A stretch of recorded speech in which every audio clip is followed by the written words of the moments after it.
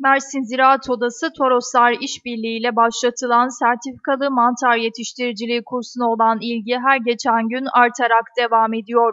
Toroslar Belediyesi Park Bahçeler Müdürlüğü fidanlığında uygulamalı olarak gerçekleştirilen kursa 67 üretici katılırken Toroslar Belediye Başkanı Hamit Tuna kursiyerleri ziyaret ederek başarılar diledi.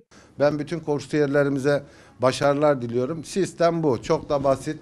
Böyle hiç kafanızda zormuş gibi algılanmasın. Gören gözün inandığı bir e, süreçteyiz. İşte gözler buradaki oluşumu görecekler. İnşallah kendilerine yeni ufuklar hatta daha güzelini yapacaklar belki. Bizimki biraz iğreti olabilir. Ama detaylandırmak çok mümkün. Biz bir deneme amaçlı yaptığımız için bir arge çalışmasıydı burası. Ee, Ben yeniden bütün kursiyerlerimize, e, mühendis arkadaşlarımıza teşekkür ediyorum. Günümüzde üretilen ürünlerin karşılığını alamayan Mersin üreticiler için mantarın alternatif ürün olabileceğini belirten Belediye Başkanı Hamit Tuna, mantar piyasa değeri yüksek olan ve pazar sorunu bulunmayan üründür diye konuştu. Özellikle ev hanımları, özellikle emekliler, özellikle e, genç olup iş kapısı bulamayan insanların uğraşacağı özel bir alan. Gerçekten mantar yetiştiriciliği. Ve pazar problemi çok yok. E, ürettiğiniz takdirde kesinlikle pazarlama anlamında sıkıntı yok. Zaten Ziraat Odası da bu yönde bir çalışma yapacak. Belki üretim fazla olursa kooperatifleşme şekline de dönüşebilir bu. Bu tamamen şu anda 67 tane var olan kursiyerimizin kendi girişimciliklerine bağlı.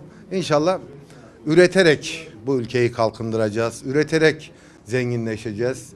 Üretmezsek hep tüketim toplumu oluruz. İşte üretmenin bir yolu da mantar yetiştiriciliği. Böyle de bir ön açtık. Toroslar Belediyesi Park Bahçeler e, Müdürlüğü bünyesinde.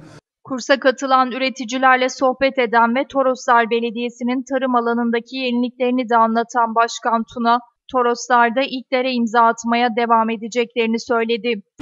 1000 metrekare seradan 10 ile 14 bin arasında ilçe meyvesi alabiliyorsunuz. Tanesi 10 lirayla 15 lira arasında.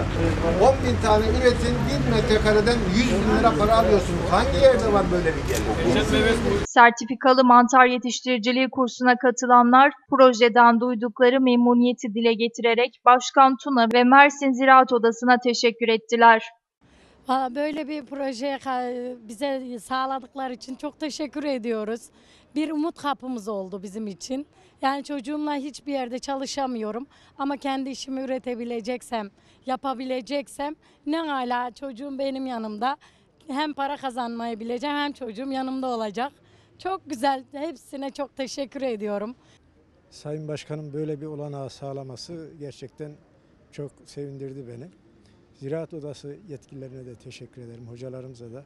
Çok güzel bir uğraş. Yerinde gördük atölyeyi. İlk fırsatta ben de bir mantar üreticiliğine başlayacağım. Çok mutluyum bu kursa geldiğim için. Yıllardır ben bu mantar üreticiliğini merak ediyordum ve yani kısmet bugüneymiş. Duyar duymaz televizyondan izler izlemez hemen gidip kaydımı yaptırdım. İnşallah yapacağım, inşallah başarılı olurum.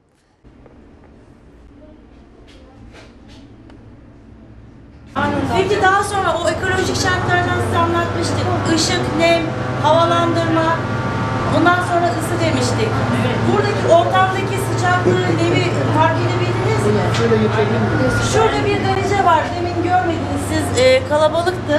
Bakın orada bir derece var. Siz bir tesis kuracağınız zaman almanız gereken en önemli e, materyaller kuracak olduğunuz yerdeki ısıyı, ışığı, nemi ve havalandırmayı sağlayacak olan materyaller, araçlardır arkadaşlar.